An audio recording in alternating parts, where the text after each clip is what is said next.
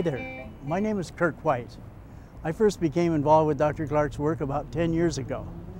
Uh, somebody handed me one of her books. It said, The Cure for All Diseases.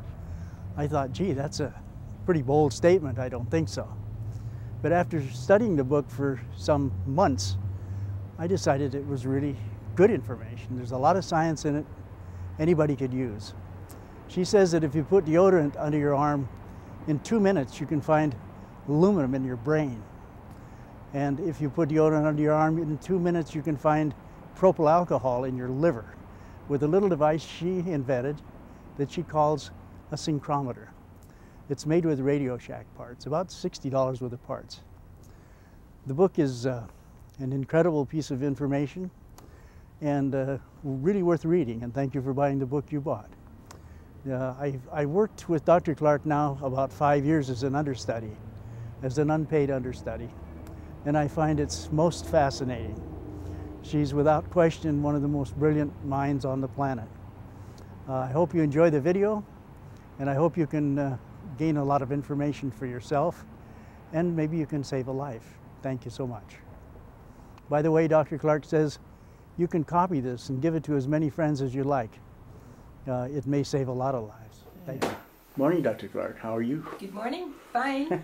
uh, so this does look for all the world like a worm, only I'd never seen one like this before.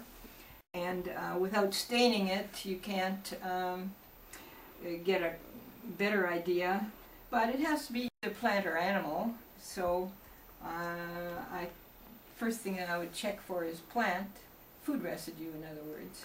Uh-huh. And if anything, it could come from, say, uh, um, a banana or plantain, which we use in our diet. So that would be the first thing I would test. And Mhm. use a banana, so I would test that first. And that's it. What do you know? That, that was a positive indication Yeah. from the Syncrometer. Usually it doesn't go that fast because I, I, I have to guess what the possibilities are. I can't go through a long list. Uh, maybe sometime in the future that that can be done. The the circuitry is already available to where I wouldn't have to have the actual item um, for testing. Um, but uh, I'm still at the manual stage, and I prefer it that way. But actually, you could have made a, a water copy of that. Yes, I could Um, have. yeah. and also, uh, it would distinguish between uh, banana and plantains or, or uh, so it, it has very acute sensitivity to differences, little differences. Mhm. Now, if you weren't so so conscious of all of the things going on and so adept at figuring out what something might be, first knowing the food and the patients, what else would you have checked for that? Uh, If I if, it, if I couldn't find uh, it to be a food residue, I would um go through all my parasite collection. I, I have about fifty or sixty parasites, and I would go through them even if it didn't look like it, because um, well, that's just my procedure in order not to miss anything. And I have those on slides, like slides like this, microscope slides. So if this has uh, a parasite on it or part of part of a parasite, uh, it would be positive if that was if it was that parasite. certainly, yeah.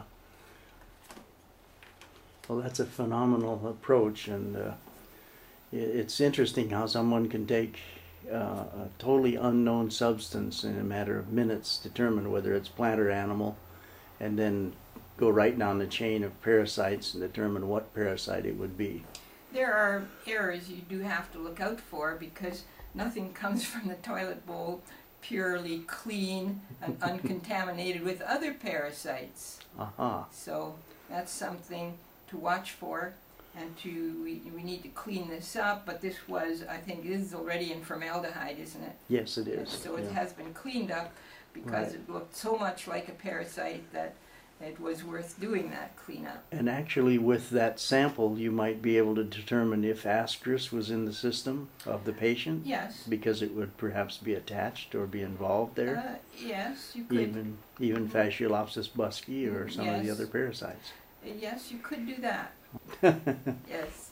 At any rate, I think that's a worthwhile experiment. Thank you so much. You're welcome. Hello there again. Hello. Hey, I, I just love to come in and interrupt you when you're doing things and stick a camera in your face and say, hey, what are you doing? You know? And uh, I had to leave a moment ago because I'd been fooling with formaldehyde and didn't have any voice left. Well, what is what's the antidote for formaldehyde? Just off, if you happen to know. Cysteine and taurine. Cysteine and taurine. Mm-hmm. Uh huh. Very interesting. So Interesting. You would take maybe one capsule of either one or both. Uh huh. Interesting. Well, I drank some It's water quite and it bad was just for you. Yeah. Formaldehyde, certainly for lungs.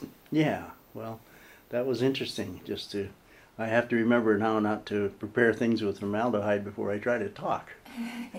yes, and uh, and a person shouldn't Mm-hmm. have any open formaldehyde in the house. Of course, we Yeah. have it all the time in other forms.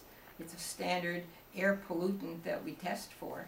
Uh huh. It's in my set of air pollutants that we test for. Mm-hmm. um, because there's formaldehyde in foam bedding, formaldehyde in your new clothing that has, if it has never been washed or dry cleaned, Mm-hmm. uh, and formaldehyde coming maybe from your cupboards, if they're new wood, some kind of paneling, So the glue that they would use on the paneling and possibly. the glue they lose to use to put the tile down, the back of carpets. Uh, the- the list maybe. would I don't, perhaps I don't go know on. all the all the places, but uh, Yeah.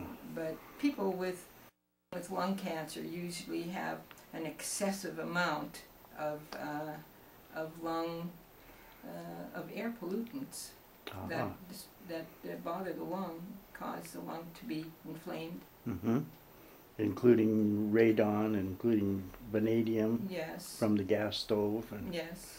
radon from the earth. And Yes. Now tell me what you're doing here.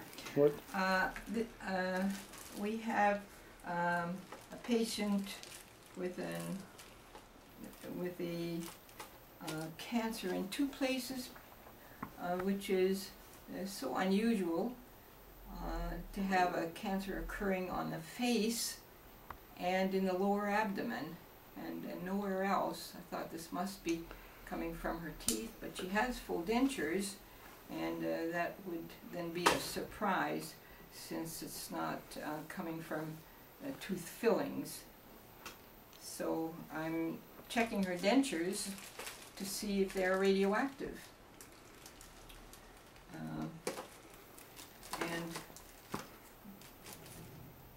you can see what I'm testing for. This is just the name of the, the person. I have them in a little bit of well water or any kind of water because uh, even if the water might have some copper or lead in it from the water pipes, that's not going to disturb the test.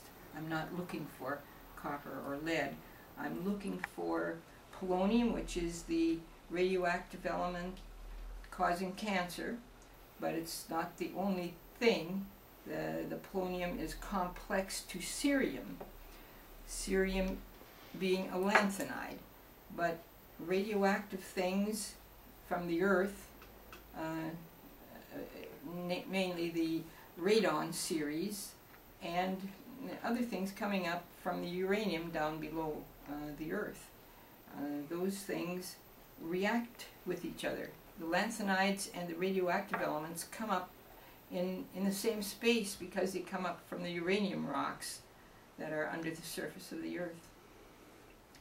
And polonium and cerium are extremely reactive and they, re- they react with each other immediately so that you get this little polonium cerium complex. And you'll see that here I'm testing for polonium um, in this uh, denture that's in a little bit of water in a plastic bag.